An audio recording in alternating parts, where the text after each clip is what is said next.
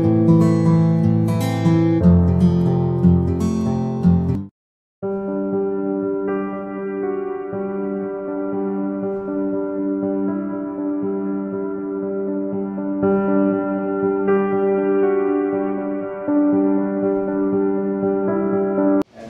morning. Uh, so myself Bora.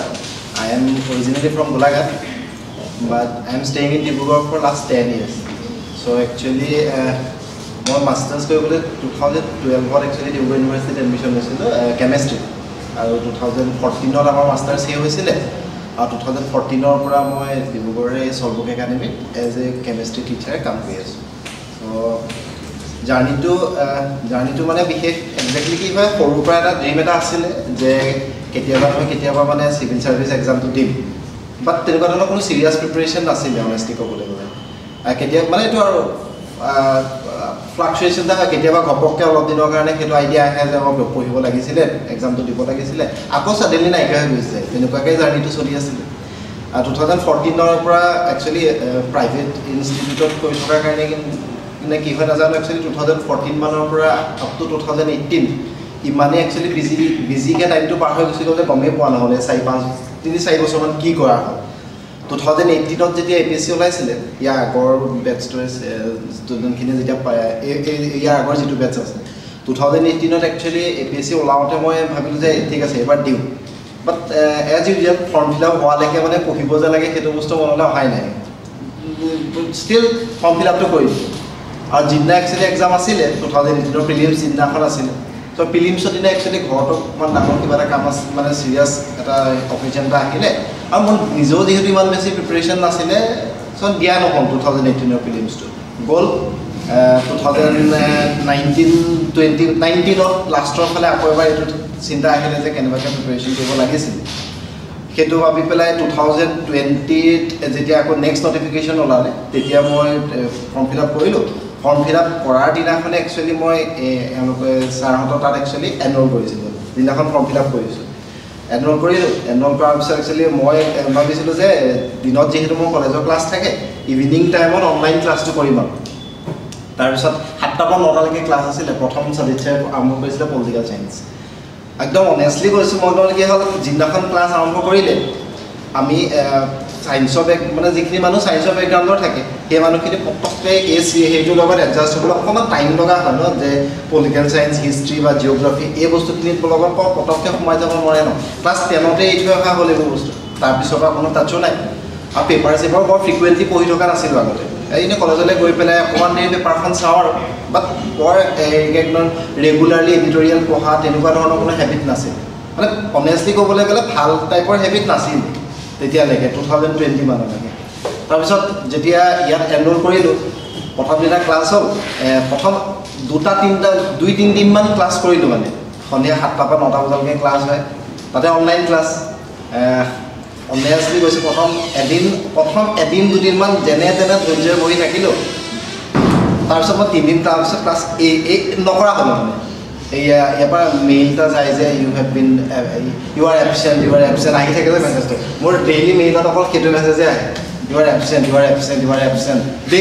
মানে কি হ'ল মন নাথাকিলে একচুৱেলি মানে বস্তুটোৰ লগত টাইমটো উলিয়াব নোৱাৰা নিচিনা হয় ন সদায় সন্ধিয়া সময়ত কিবা নহয় কিবা এটা ওলাই যায় ক্লাছ নকৰাকৈ গুচি গ'ল সেইটো টু থাউজেণ্ড টুৱেণ্টিৰ নৱেম্বৰ ডিচেম্বৰ মানৰ কথা অলমষ্ট ডেৰ মাহমান গ'ল ক্লাছেই নকৰিলোঁ প্ৰথম তিনিটাই যি ক্লাছ আছিলে আৰু তাৰপিছত টু থাউজেণ্ড টুৱেণ্টি ওৱানৰ জানুৱাৰীত টু থাউজেণ্ড এইটিন বেটছৰ ফিলিমছৰ ৰিজাল্ট দিলে। আৰু যিদিনাখন ৰিজাল্ট দিছে মই তোমাৰ মই একচুৱেলি বহুত দিন বন্ধ হৈ আছিলে। কাৰ কাৰণে সেইবাৰ কাৰ বন্ধটো আছিলে সেই সময়ত। কাৰ বন্ধৰ পিছত বহুত দিন বন্ধ আছিলে চব ডিব্ৰুগড় চিনেমা হল চল চব বন্ধ।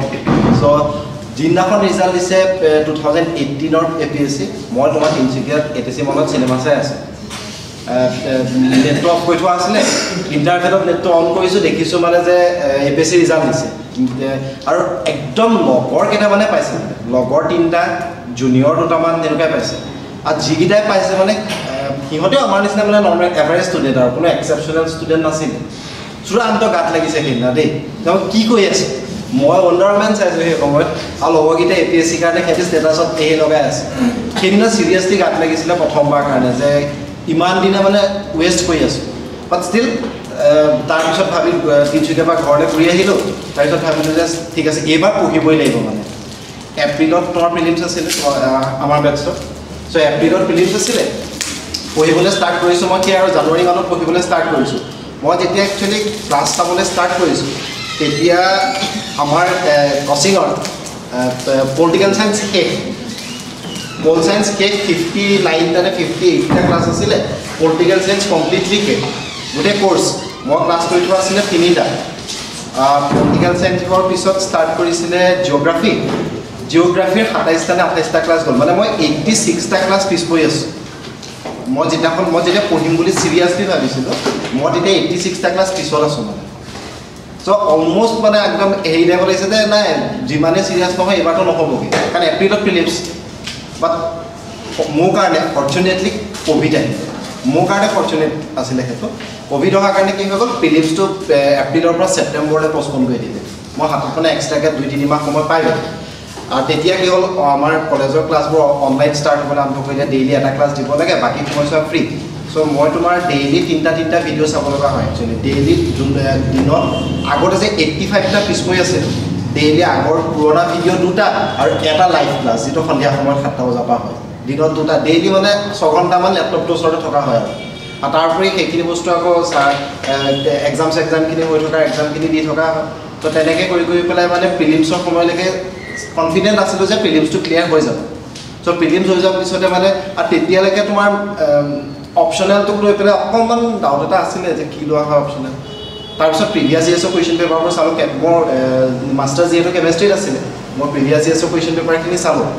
আৰু প্ৰিভিয়াছ ইয়েৰ্ছৰ কুৱেশ্যন পেপাৰত কেমেষ্ট্ৰি যিখিনি কুৱেশ্যন আহিছে সেইখিনি eighty percent high secondary best question আছিলে চ' হাই ছেকেণ্ডেৰীটো নিজে যিহেতু তেতিয়ালৈকে সাত আঠ বছৰমান পঢ়োৱা হ'ল চ' হাই ছেকেণ্ডেৰী গ্ৰীডটো আছিলে। ত' ভাবিছিলোঁ অপশ্যনেলৰ কাৰণে ইমান বেছি নপঢ়িলেও মানে বাকীখিনি চলাই যাব পৰা হ'ব। তাৰপিছত ষ্টিল চিলেবাছখন চাই পেলাই যিখিনি ডিগ্ৰী লেভেলৰ বস্তু লাগে সেইখিনি বস্তুও এ, অলপমান সেইখিনি অৰ্গেনিক্স অৰ্গেনিকৰ ওপৰত বেছ কৰি তাৰপিছত যেতিয়া মেইনছৰ কাৰণে প্ৰিপেয়াৰ কৰিছিলোঁ মেইন তেতিয়াৰ পৰা মই একচুৱেলি প্ৰিলিমছলৈকে ছাৰহঁতৰ আগৰ ভিডিঅ' আৰু নিজৰ সেই লাইভ ক্লাছটোৰ ওপৰত বেছ কৰি পেলাই চলি আছিল বাট মেইনছৰ পৰা কমপ্লিটলি মানে ছাৰহঁতৰ যিখিনি ইনষ্ট্ৰাকশ্যন আছিলে আনচাৰ ৰাইটিঙৰ পৰা আৰম্ভ কৰি পেলাই যিখিনি কেনেকৈ আনচাৰ লিখিব লাগে মানে প্ৰথম মই কেইবাবাৰো মানে একচুৱেলি আছিফ ছাৰৰ লগতো পাতিছোঁ বা সাজিদ ছাৰৰ লগতো পাতিছোঁ আনচাৰ লিখিবলৈ লৈ পেলাই মানে মোৰ বহুত দিনলৈকে এটা ডাউট আছিলে কনচেপ্টটো জানিলোঁ যে সেই বস্তুখিনি মই ওৱান ফিফটি ৱৰ্ডছত বা টু ফিফটি ৱৰ্ডছত কেনেকৈ লিখিম মানে। কেনেকৈ এইটো টাইমৰ ভিতৰত কমপ্লিট কৰিম কেনেকৈ হেৰি কৰিম? আগৰ সেই ইউটিউবত যিখিনি তোমাৰ ইউ পি এছ চি টপাৰবোৰৰ ভিডিঅ' থাকে তেওঁলোকৰ ভিডিঅ' চাইছোঁ। চবে একেটাই কয় যে মেইনছৰ কাৰণে আনচাৰ লিখিবই লাগিব আনচাৰ লিখিবই লাগিব। চ' ফৰ্চুনেটলি হেণ্ড ৰাইটিংটো ভাল আছিলে স্পীডটো আছিলে আৰু কণ্টেণ্টটো আনঅৰ্গেনাইজ হৈ আছিলে খালি যে কেনেকৈ কণ্টেণ্টটো মানে মই একচুৱেলি আনচাৰটো ফৰ্মেটত লিখিব পাৰিম। ছাৰে ক'লে যে তুমি যিয়ে ভাবা বা আছিফ ছাৰেও ক'লে যিয়ে ভাবা মানে লিখি দিয়া জাষ্ট ৱৰ্ড লিমিটক লৈ চিন্তা নকৰিবা কণ্টেণ্টটোৰ তোমাৰ কোৱালিটিটোৰ ওপৰত লৈ চিন্তা নকৰিবা জাষ্ট লিখি দিয়া। তো লিখি মেলি পেলাই তেনেকৈ অলমষ্ট দহ বাৰটামান ক্লাছ লিখাৰ পিছত তোমাৰ দহ বাৰ দিনটামান আনচাৰ লিখাৰ পিছত লাহে লাহে লাহে লাহে বস্তুটো ট্ৰেকত আহিলে। আৰু তাৰপিছৰ পৰা তোমাৰ ফেভৰিট মেইনছ হ'ল। মেইনছ হোৱালৈকে মানে প্ৰিপেৰেশ্যনটো তেতিয়ালৈকে অলমষ্ট কমপ্লিট হ'ল বুলি ভাবিলোঁ। আৰু মেইনছৰ পিছৰ পৰা মেইনছ দিয়াৰ পিছত অপশ্যনেলটো ভালেই হ'ল আৰু ছাৰহঁতে কৈছিলে যে তোমাৰ প্ৰতিখন জি এছৰ পেপাৰত যে গোটেইখিনি কুৱেশ্যন চল্ভ কমপ্লিট কৰি থৈ আহিবগৈ লাগে। কিন্তু মোৰ কি হৈছিলে যে জি এছ এছেখন ভাল হৈছিলে এছে দুখন। বাট জি এছ ওৱানত মোৰ দুটা কুৱেশ্যন থাকি গৈছিল এইটিনটা কুৱেশ্যন কৰা হৈছিল। খালি এইটিনটা কুৱেশ্যনক লৈ পেলাই মানে ছেটিছফাইড আছিলোঁ বাট দুটা কুৱেশ্যন এৰি থৈ অহাৰ কাৰণে অকণমান ডাউট এটা আছিলোঁ। একচুৱেলি টাইমো নজৰিলেগৈ সেই জি এছ ওৱানৰ কাৰণে বাট বাকীকেইখন পেপাৰত কোনো কুৱেশ্যন থাকি অহা নাছিল। আৰু অপশ্যনেল পেপাৰখনত টু টু ফিফটিৰ ভিতৰত ফাৰ্ষ্টখনত টু থাৰ্টিমান কৰিছিলোঁ। আৰু ছেকেণ্ডখনত টু হাণ্ড্ৰেড এণ্ড টেনমান কৰিছিলোঁ অপশ্যনেল খালি ছায়েন্সৰ অপশ্যনেল আছিলে কাৰণে মানে কনফিডেণ্ট আছিলোঁ যে টু থাৰ্টি কৰিলে বৰ বেছি নকমে আৰু টু থাৰ্টিৰ পৰা কাৰণ বেছিভাগ নিউমাৰিকেল বা ডিৰাইভেশ্যন টাইপৰ কুৱেশ্যন আছিলে। মেকানিজিম টাইপৰ কুৱেশ্যনখিনি আছিলে। চ' সেইকাৰণে সেইটোক লৈ কনফিডেণ্ট আছিলোঁ। আৰু তাৰপিছৰ পৰা আৰু মেইনছ দিয়াৰ পিছৰ পৰা অলমষ্ট কনফিডেণ্ট যে মেইনছটো ক্লিয়াৰ হ'ব। ভাইভাত কি সুধিব নাজানো আৰু দেখা যাব বুলি ভাবি পেলাই ভাইভা দিব গ'লোঁ ভাইভাটো তোমাৰ এজ ইউজুৱেল যিখিনি পাৰ্চনেল পাৰ্চনেলিটিৰ ওপৰত বেছ কৰি যি য'ত কুৱেশ্যন থাকে সেইখিনি কথাই সুধিম। মোক প্ৰথম সুধিছিলে যে মানে ঘৰটো ক'ত হয়? ঘৰ মই তোমাৰ মোৰ যি জেগাত ঘৰটো আছিলে তাত তোমাৰ বৰুৱা বামুণগাঁৱৰ আগতে চেনিকল এটা আছিলে। সেই বৰুৱা বামুণগাঁও চেনিকলটো থকাৰ জেগাতে মোৰ ঘৰটো আছিলে ওচৰতে। চ' মোক প্ৰথম সেইটোৱে সুধিছিলে যে বৰুৱা বামুণগাঁও চেনিকলটো কেলৈ বন্ধ হ'ল? তুমি যদি তাত থাকিলেহেঁতেন কি কি কৰিলাহেঁতেন বন্ধ নকৰিবৰ কাৰণে সেইটো বন্ধ হোৱাৰ কাৰণে ওচৰৰ মানুহখিনি কি ক'ত প্ৰব্লেম হৈছে সেই কথাখিনি সুধিলে। আৰু ডিব্ৰুগড়ত থকা বুলি গম পোৱাৰ পিছত ডিব্ৰুগড়ৰ কি কি মেইন প্ৰব্লেম আছে সেইখিনি কথা সুধিলে। তাৰপিছত মই নিজে যিহেতু প্ৰাইভেট এডুকেশ্যন ছিষ্টেমৰ লগত ৰিলেটেড তেওঁ প্ৰাইভেট এডুকেশ্যন ছিষ্টেম আৰু পাব্লিক এডুকেশ্যন ছিষ্টেম বা গভমেণ্ট এডুকেশ্যন ছিষ্টেমৰ কি ডিফাৰেঞ্চ আছে সেইখিনি কথা অলপ সুধিলে। আৰু লাষ্ট সুধিছিলে যে যদি ডিব্ৰুগড়ৰ কোনোবা এজন তুমি মানে ডেপুটি কমিশ্যনাৰ বা যেনেকুৱা যদি পষ্ট এটাত থাকা তুমি ডিব্ৰুগড় ডেভেলপমেণ্টৰ কাৰণে কি কি কাম কৰিবা? সেইখিনিৰ ওপৰত বেছ কৰি পেলাই অলপমান সুধিলে। চ' মোৰ জাৰ্ণিটো মোটামুটি সেইটোৱে একচুৱেলি এইটো এটা কমপ্লিটলি ৰোলাৰ কোষ্টাৰ ৰাইড নিচিনা আৰু। মই এটাই জানো যে এবাৰ যদি মানে গলটো ছেট কৰি লোৱা হয় প্ৰপাৰলি আৰু সেই গলটোক যদি প্ৰায়ৰিটি দিব জনা হয় টাইমটো তুমি নিজে নিজে ওলাই যাব। বৰ বিশেষ তুমি টাইমটোক লৈ পেলাই চিন্তা কৰিব নালাগে। আৰু এটা প্ৰপাৰ প্লেন এটা বনাই ল'বা। বহুত ক্ষেত্ৰত মানে কি হ'ল ছাৰহঁতে যিখিনি এডভাইচ দিয়ে সেই এডভাইচখিনিতো এজ ইট ইজ ফ'ল' কৰিব পাৰিলেতো বহুত ভালেই হয়।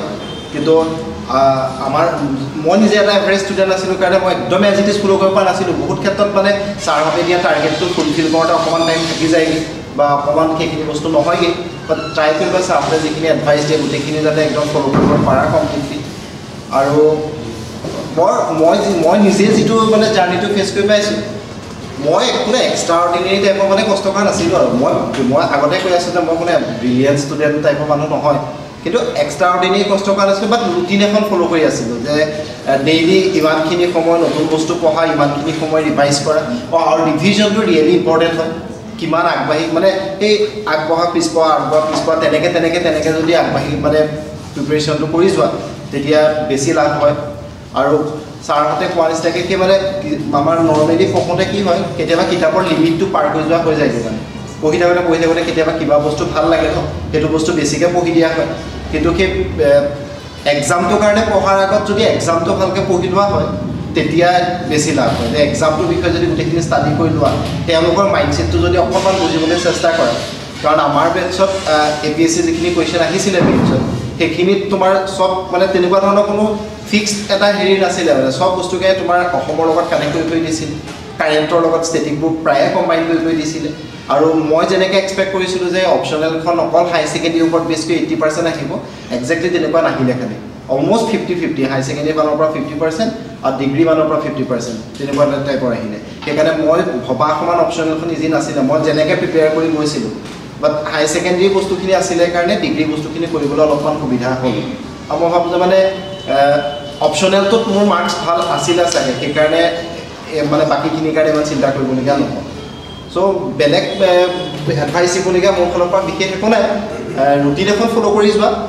আৰু ট্ৰাই কৰিবা যাতে এই কোনো কাৰণতে এই গলটো বা এই সেইটোক মানে তুমি ইয়াৰ প্ৰায়ৰিটিটো প্ৰায়ৰিটিটো যাতে কেতিয়াও কম নহয়। সদায় এই বস্তুটো প্ৰায়ৰিটাইজ কৰি ৰাখিবা। আৰু তেতিয়া কি হ'ব বাকী কামবোৰৰ পৰা অকণমান টাইম উলিয়াই পেলাই হ'লেও এই বস্তুটো শিকিব পাৰিম। নিউজ পেপাৰখিনি পঢ়াটোতো অভিয়াছলি দৰকাৰ কাৰণ তাৰ ওপৰত বেছ কৰি পেলাই মেক্সিমাম কুৱেশ্যনখিনি আহিয়ে থাকে।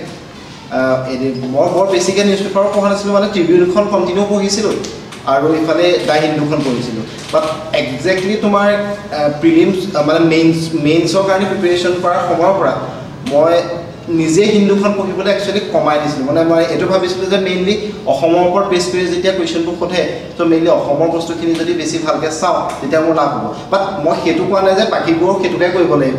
মই নিজে সেইটো ভাবি লৈ পেলাই মানে তেনেকৈ প্ৰিপেয়াৰ কৰিছিলোঁ। ইউ পি এছ চিৰ কাৰণে যদি হেৰি কৰা হয় তেতিয়াতো অভিয়াছলি ইণ্ডিয়ান এক্সপ্ৰেছ বা হিন্দুখনটো দৰকাৰ হয় সেইখিনি ভালকৈ প্ৰিপেৰেশ্যন কৰিব পাৰিলে ভাল। আৰু বিশেষ একো নকওঁ। ইহঁতি আছেই লগত ইহঁতিজনেও ক'ব। আৰু তোমালোকৰ যদি কিবা সুধিবলগীয়া আছে বা ক'বলগীয়া আছে ক'ব পাৰা।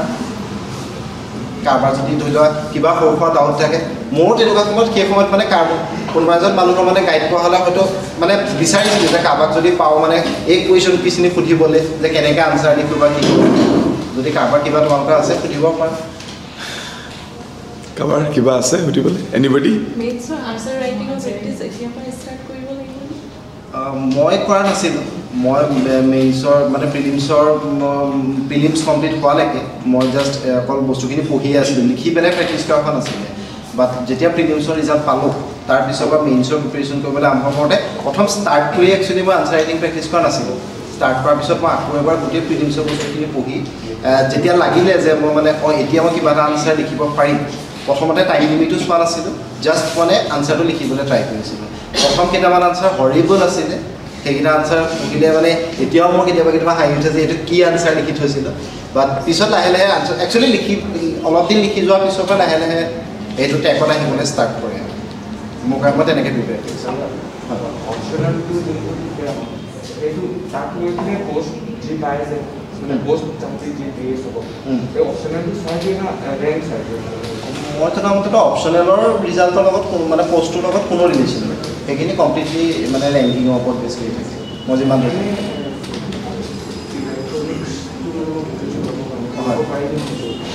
মানে নিজৰ যদি মানে ফেইথ থাকে বা যে ইয়াৰ কুৱেশ্যনখিনি ফেচ কৰিব পাৰিম চ' মোৰ হিচাপতে যিকোনো অপশ্যনেলেই ল'ব পাৰি তেনেকুৱা কোনো স্পেচিফিক বোলে স্ক'ৰিং অপশ্যনেল বুলি নাথাকে মানে ऑप्सन नंबर रिजॉल्व परचेस करेगा ऑन रिजॉल्व रिजॉल्व हो गया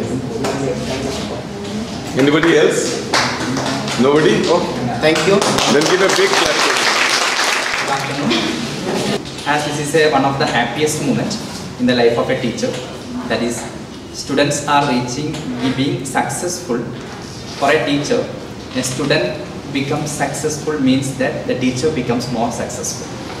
And I believe in that philosophy that whenever all of you are placed in a position higher than my position or all other teachers' position, only that time we become successful. Otherwise, placing the students in a position below the teacher is something simply possible for everybody and one of the easiest tasks. That is why next year and this year we have seen all the three are from the beginning associated with Academy of Civil Services from the prelims mains interview program and Aradhana and Princhi both of them were sitting like you in front of me and Netra Kamal Kaur was sitting behind the lens. I don't know whether he already agreed that initially he was not attending the classes. Because after the three, four years experience of living in Assam, I can understand Assamese now. That's why full, I, almost 90% I understood what whatever speech was delivered. But still, and he caught up with the preparation when the notification came. Normally, we Indians want to run only the last 100 meters fast. Initially, you go slow. Then, but for you, it is a big motivation, whether it is APSC or UPSC you are preparing for. APSC notification might come very soon because they are making so fast. Today, we were unable to get the achievers because they were busy with the medical examination and other formalities. Hmm? Then, as the appointments are going to be done so fast and very fast, next notification also might come. Then never wait for the notification to make a final price. Hmm? Start now itself prepare consistently and next year I want to see all the faces who are sitting on that side to sit in this side. Hmm? Not only as an APSC aspirant, when the UPSC result comes, I want to see you coming in this set because we have many students who are only UPSC aspirants. Somebody came from Lakshadweep, somebody came from Karnataka and from Kerala. Then everybody and whoever is a part of this program today and I want to see you all sitting this side with a greater achievement and one of the, if possible, all of you can be the rank one. And with a greater achievement, I want to see everybody sitting and serving the nation. One of the most important thing I want to tell the achievers and that is the prime motive should be that why we are coming into the civil services not and only as a job. It is a great opportunity to serve the nation. Then the love for the nation and that means the love for the people of the nation should be the utmost motivating factor throughout your career. Then whenever you are taking a decision or making an important action, that should have something contributing from your side for the development of the people and for the development of nation. Then with all their contribution, with all your contribution, we should be able to see a developed India as soon as possible. Yes, the aim should be in the life at least before we die, and we should be able to see the nation shining and India, a shining India before we die. And our next generation, there should be no motto, as I am telling in the class, there should be no motto of Garibi Hatao, and the motto should be something higher than that. And we started listening this motto from which five-year plan? Not first. The Garibi Hatao motto was a part of which five-year plan? Anybody can answer? anyway, and it was a part of starting from the fifth five-year plan of Indira Gandhi. Then, now, starting something in 1970s and still, after some 50 years, which still we are continuing that motto, you should keep in mind that and with your contribution and our contribution, everybody's contribution, we should be able to move into the next level of the goals, aims and achievements for the great nation India. Jai Hind. Thank you all.